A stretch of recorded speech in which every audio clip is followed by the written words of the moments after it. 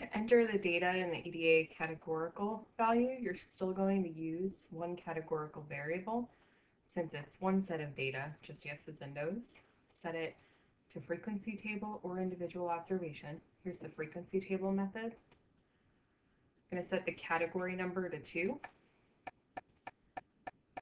And then your name of variable would be whatever it is you were looking at with your data. So for example, ours was Facebook usage. So say Facebook use.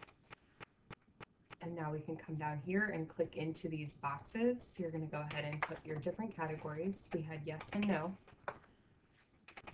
And then for count, for the set of data we exampled in class, it was 22 yeses and 8 nos. So now you'll see that it automatically populates as a bar graph. You can go ahead and include different colors, uh, changing them down here, or change the titles if you'd like something other than bar graph.